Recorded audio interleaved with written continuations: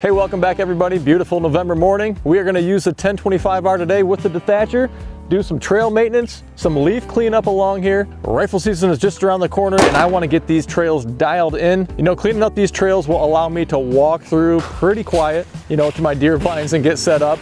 The flip side of that is I won't be able to hear the deer as well if they are using those same trails. However, I will take that trade-off and for me, I've been wanting to do this on my own property for years and years and years, so I'm excited to get started. Hey, and you guys know what to do. If you enjoyed the video, hit that like button down below, subscribe to see more, and if you're looking for something for your tractor, maybe one of these dethatchers or something else, make sure you check out goodworkstractors.com. We've talked all about these dethatchers before, and this is just one of the many uses for this tool. This thing was light enough where I just threw it in my truck bed by myself, brought it out here to the property, hooked it up to 1025 R, and we're gonna get to work. So an application like this is where a small tractor really excels. You know, you can see what we have to navigate through in and out of trees, around tighter corners. A bigger tractor like the 4720 is just too large. Now, I do think a tractor like a Kubota B Series, a John Deere 2 Series is still gonna manage pretty well. You start to get to a 3 Series, and that's kind of gonna be the borderline a lot of this unless you really start to open up your trailways. So this dethatcher is 60 inches wide. It's a little bit wider than the tractor itself, which is no big deal. Again, it weighs about 50 pounds. It's not putting any kind of a strain or a load on the tractor itself. It's nice to have a little bit wider footprint, but not too much wider. And this isn't gonna do a heavier grade almost like the landscape rake did that we used previously. This is simply skimming the surface, collecting those leaves. We'll just back up, push them off to the side. It may be called a dethatcher, but it's really just a rake. So instead of doing it by hand, you're just using your tractor to do it. These are spring tooth tines. They are replaceable. You can order the dethatcher right through us at Good Works Tractors. If you need to get something down the road, a part, a, a tooth or a, a, bar or something that you bent, you can order those parts right from CMP. It's that time of year too where we're doing some Christmas shopping and some planning. These items are in stock right now with us at Good Works Tractors. They actually come in a cardboard box. It's about five foot tall and then nine inches by nine inches. So we ship them UPS ground right to your house. Great to fit underneath the Christmas tree or for Father's Day or for a birthday, but we did a whole video about all the uses for a dethatcher. That name's a little deceiving. It's very multi-purpose, one of the more affordable tractor attachments. I'd encourage you to check it out. We are well underway with our leaf drop and we have a pretty good amount of leaves all along the trail. There's still more to come, but this is gonna be a good start on getting them cleaned up. So I'm excited to get started, so let's get to it.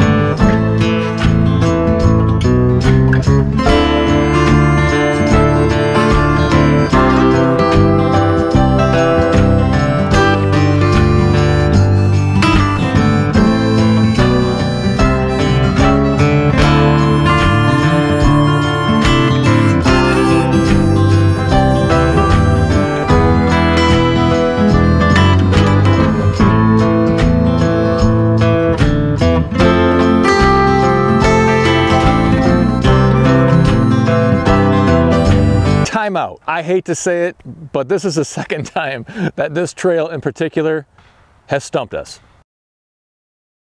Couple passes with a tiller, take those big humps and uneven areas out, and then come back through with a land plane. You could also use a box blade and just drop it down, see if we can smooth it all out and make it good to go.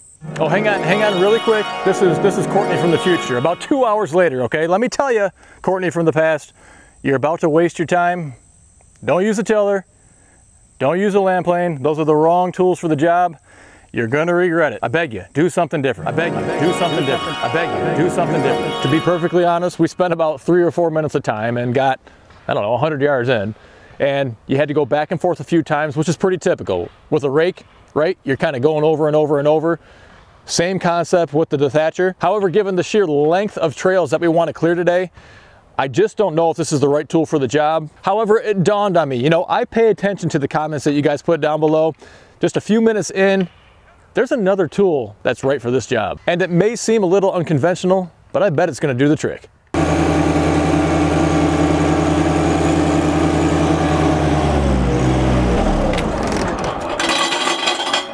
Okay, so we're gonna use a flail mower. This one has hammer blades on it, brand new. I kept one for myself. We're gonna do a comparison between hammers and Y blades in a future video as well. A lot of you guys mentioned using a flail mower for trail maintenance, kind of like that mulcher head that we use on the skid steer, but you can tackle the sticks, the debris, the leaves, the branches, whatever it is that comes down. We're gonna check it out. We're gonna try this out today and see if it can do a better job. Again, this is based on sheer volume of trails that we have to clear right now that we wanna maintain. If we were doing a smaller quantity, I'd probably stick with the dethatcher and realistically, it, it's easy work to do with the dethatcher as well, but we're gonna give this a shot. We're gonna see if we can do any better.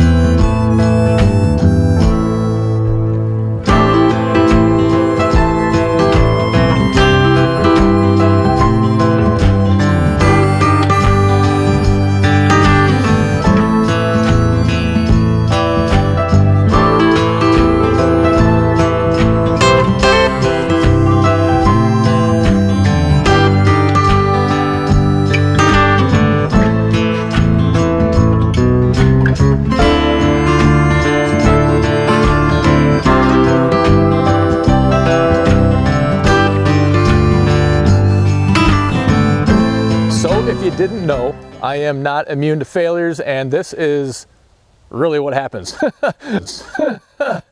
Angry. I don't want this to be a failure video, but it didn't work out today, and we're just running out of time. I would go back to the Thatcher at this point and just keep doing what I was doing, but I just thought I had this great epiphany to try something totally new after we had already started.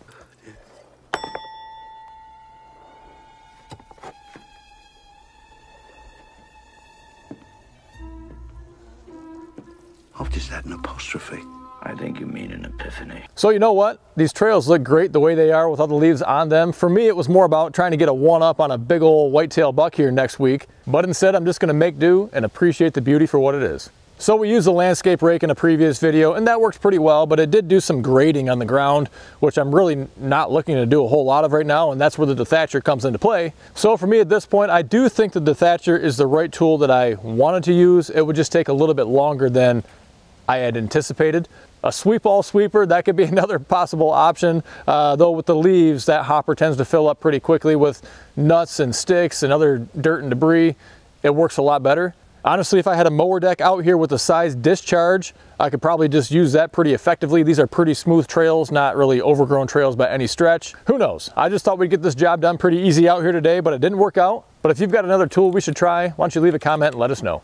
So anyway, we're gonna mix it up, change some plans. I need an extra set of hands to put together a deer blind. There's a couple hands I see holding the camera right there, so we're gonna go ahead, switch gears and put that blind together. get ready for deer season. So I've got three deer blinds. They're all a modular type of blind from Orion.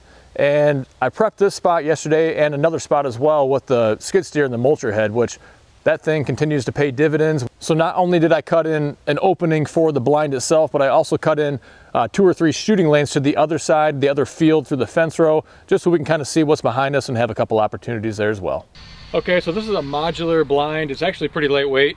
You know, it's kind of awkward, so it's nice to have two people. I was trying to get some elevated platforms ready to go, but just ran out of time. So these all clip together, these different sections, you put the floor down, put the panels together, just kind of clip them together. They're, I think, aluminum clad, uh, foam insulation in between. Get a roof on there too, but nice and quiet. I can I can be in here with, with me and a couple of the kids too, and probably went overboard a little bit, but these should last a really long time and be low maintenance and easy to move around if we need to.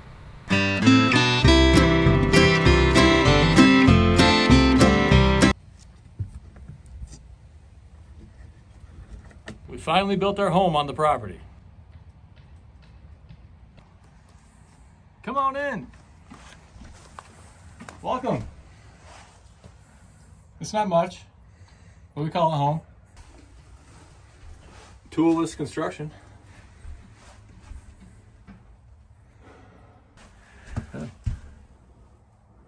Had room to spare. Darn right. How's So that that's angle? all these clamps. There's one per panel. To the roof, to the next panel, and to the floor. Every panel has a window. It's just flip up or flip to the side. The ones that flip up have a bungee to hold them up. There's a vent over the door. If you wanted to keep uh, all your heat in and put a buddy heater in here. All we're missing is deer. They're Stay- coming. Stay here long enough, you'll see one. They're coming. We saw 11 of them out there Friday. We just took off all the protective film, and so now you have a really good view with the windows closed. Open them up when you want to shoot. Well, if you enjoyed today's misery, would you give me a like by hitting that button down below? Subscribe to see more tractor videos. And if you do want a tool for your tractor, make sure you check out goodworkstractors.com. Thanks again for taking the time to stop by. And until next time, stay safe. We'll see you soon.